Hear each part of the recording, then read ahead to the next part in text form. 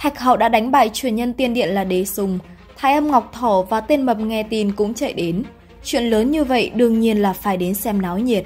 Ai ngờ tốc độ lại quá chậm, sau khi đến nơi thì đã không còn gì để xem nữa. Đà thần Thạch và tên mập cùng nhau tạo ra trận pháp để cho Thạch Hậu chuẩn bị bế quan tu luyện. Lần tu luyện này chắc chắn rất nguy hiểm. Thạch Hậu lại không muốn dùng đến linh thảo hay vật ngoài thân để phụ trợ, nên đưa lại cho mọi người giữ hộ. Thanh Y lo lắng, nàng ta biết tu luyện tiên khí là thử thách sống còn, thêm một chút hy vọng sống sót cũng là tốt, cho nên lấy ra hai trái linh thảo để cậu sử dụng nếu gặp bất chắc. Thạch Hậu vui vẻ nhận lấy rồi cũng tiến vào trận pháp. Ngồi lên ngộ đạo thạch rồi bắt đầu tu luyện. Phương pháp tu luyện chính là tự dẫn lửa thiêu thần, hấp thu 1.600 luồng đạo hỏa vào cơ thể. Cũng may trước đó trí tôn huyết dịch đã phục hồi nên bây giờ mới có thể cầm cự được. Việc dung nạp quá nhiều khiến cơ thể thạch hậu rơi vào trạng thái quá tải, da thịt bị nướng chín tỏa ra mùi cháy khét. Dòng dã 5 ngày trôi qua, thạch hậu đã hấp thu xong các luồng đạo hỏa. Đúng vào lúc đang ổn định lại trạng thái thì bị tập kích. Thứ tập kích là một cái đèn lồng cổ xưa tỏa ra khí tức quỷ dị. Tên mập và đà thần thạch cùng nhau vận dụng pháp lực tạo ra nhiều lớp kết giới để bảo vệ cho thạch hậu. Tuy nhiên, chiếc đèn cổ lại dễ dàng vượt qua 7749 lớp bảo vệ để xông vào bên trong. Điều này khiến cho đà thần thạch cũng há mồm. Nó phun ra luồng khói đen quỷ dị. Thanh y và mọi người định xông lên hỗ trợ, nhưng thạch hậu đã yêu cầu bọn họ lùi lại. Lồng đen đó chưa kích hoạt pháp trận, chứng tỏ rằng ngoại lực sẽ không thể tác động vào nó được. Cậu phải tự mình giải quyết mà thôi. Làn khói ngừng tụ thành một cái phân thân thạch hậu. Phân thân nhanh chóng lao đến tấn công. Thạch hậu rút trường thương ngăn cản, hai bên vai chạm nhau liên tục. Nhưng mà tên phân thần lại có khả năng sao chép mọi thứ, từ cảnh giới, chiêu thức hay pháp bảo. Sức mạnh ngang ngửa, thạch hậu đây là đang chiến đấu với chính mình. Ngay sau đó lại xuất hiện thêm một cái phân thần nữa, lấy hai đánh một, thạch hậu nhanh chóng bị chèn ép.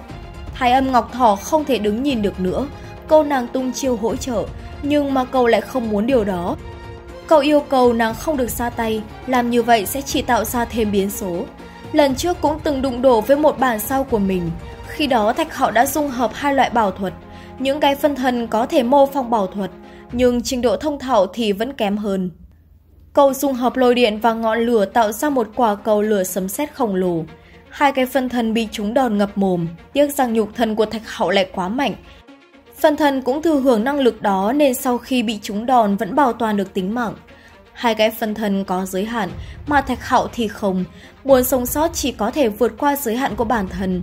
Cậu bạo phát sức mạnh trí tồn huyết, vô số phù văn hiện ra ngoài. Các phù văn lại dung hợp vào hai loại bảo thuật, tạo thành một bàn tay khổng lồ, khí thế cuồn cuộn. Hai phần thân cũng ngừng tụ ra hai bàn tay đáp trả lại.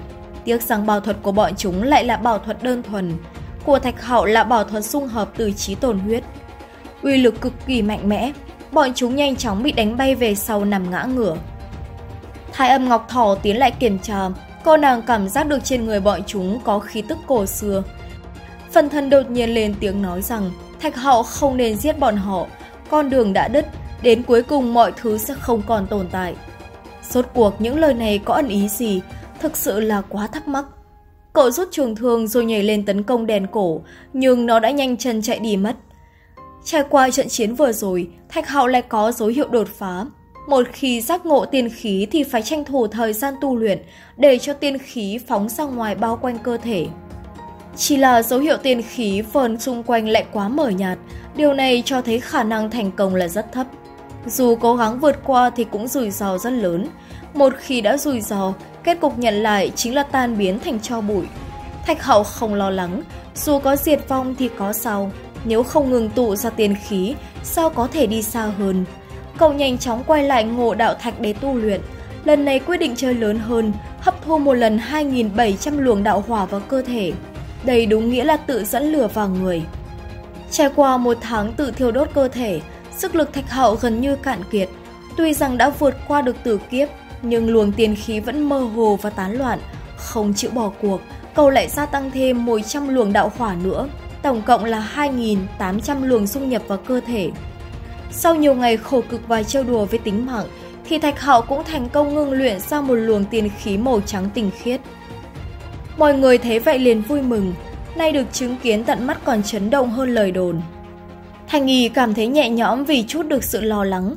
Đà thần thạch thì cười lớn vui sướng, cho đến lúc cậu đi dẹp loạn các đại giáo, hắn ta sẽ vờ vét được nhiều bảo vật linh thảo hơn, có thể thoải mái dùng các loại nguyên liệu thần cấp làm điểm tâm ăn rồi.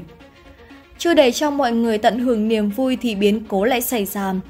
Chiếc đèn cổ lần nữa xuất hiện, dù thạch hậu đã đột phá nhưng mà sức lực lại chưa hồi phục được bao nhiêu. Điều đáng lo nhất là số lượng phân thân hiện ra ngoài lên tới mấy chục người. Xem ra lần này là tử cục rồi, dù ở trạng thái đỉnh phong thì cũng không có cơ hội đánh thắng. Thái âm Ngọc Thỏ lại muốn ra tay hỗ trợ, Thanh Y nhanh chóng ngăn cản, còn ra tay sợ rằng sẽ tạo ra thêm biến số. Bây giờ chỉ hy vọng tiên khí có tác dụng kỳ diệu đủ để xoay chuyển tình thế. Lúc này Thạch Hạo đã trọng thương quá nặng, miệng phun ra một ngụm máu. Cậu muốn điều động sức mạnh của tiên khí để xem nó có tác dụng gì. Nhưng mà ý định đó lập tức bị đánh tan. Luồng tiên khí xung quanh bị giải tán, phần tách ra thành nhiều phần. Đúng vào lúc này, lồng ngực cậu lại phát sáng, tiên khí bị hút vào trong rồi dung hợp với trí tồn huyết. Bây giờ tiên khí biến mất, đèn cổ tưởng rằng cậu đã thất bại nên thu hồi phân thân rồi rút lui. Nhờ vậy mà Thạch Hậu đã giữ lại được cái mạng. Thái âm Ngọc Thỏ cảm thấy đáng tiếc, thiếu chút nữa là thành công rồi.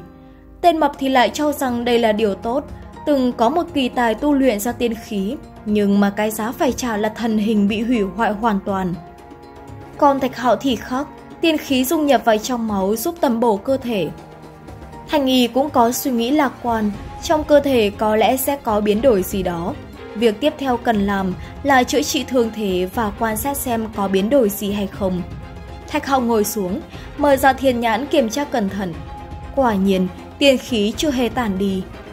Thạch Hậu cần phải siêu thoát, vượt qua bản thân thì mới đưa tiền khí ra ngoài được.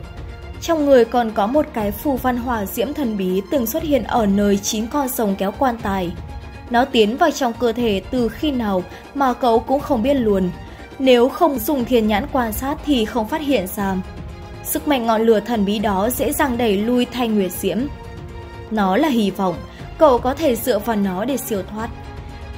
Chỉ tiếc rằng bây giờ Thạch Hậu lại chưa thể điều động được phù văn hỏa diễm đó. Ngoài ra còn có một cuốn cổ kinh phần thưởng sau khi nâng phi tiên thạch lúc còn ở thiên nhân tộc trăng. Bên trong cổ kinh khắc một loại luân hồi bảo thuật. Hiện tại Thạch Hậu đã có được hai phù văn của luân hồi bảo thuật. Thêm cái này nữa là chiêu thức thứ ba. Không chờ đợi thêm, Thạch Hậu lập tức tu luyện phù văn. Chỉ một cái phù văn đã khiến đầu óc cậu được khai sáng.